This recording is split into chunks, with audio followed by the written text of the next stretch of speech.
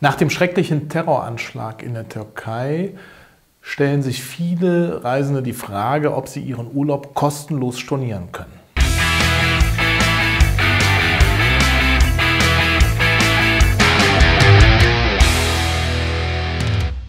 Hallo, mein Name ist Markus Mingers von der Kanzlei Mingers und Kreuzer. Heute beschäftigen wir uns mit einem sehr belastenden Thema, nämlich den Terroranschlägen. Unlängst ist in Istanbul Schreckliches ähm, passiert. Jetzt stellen sich viele Leute die Frage, kann ich von meinem Urlaub zurücktreten? Wenn man einen Urlaub nach Istanbul ähm, gebucht hat, dann ist das sicherlich eine ganz heikle Geschichte.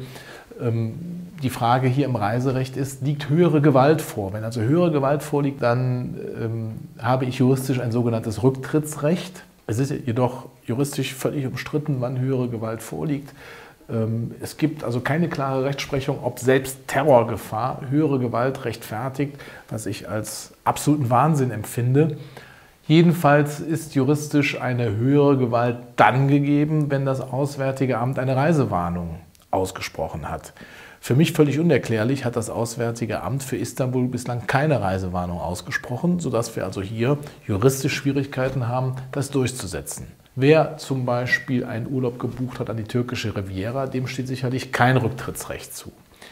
Die Reiseveranstalter zeigen sich momentan jedoch sehr kulant und gehen auf die Kundenwünsche ein, wenn diese eine Reise nach Istanbul gebucht haben, sodass zumindest auf diesem Weg unjuristisch ihnen hier weitergeholfen wird. Wenn Ihnen unser Video gefallen hat, freuen wir uns, wenn Sie das Video kommentieren, wenn Sie uns ein Feedback geben, vielleicht ein Thema aufzeigen, was Sie interessieren würde. Wir nehmen das gerne auf und wir sehen uns dann bald wieder.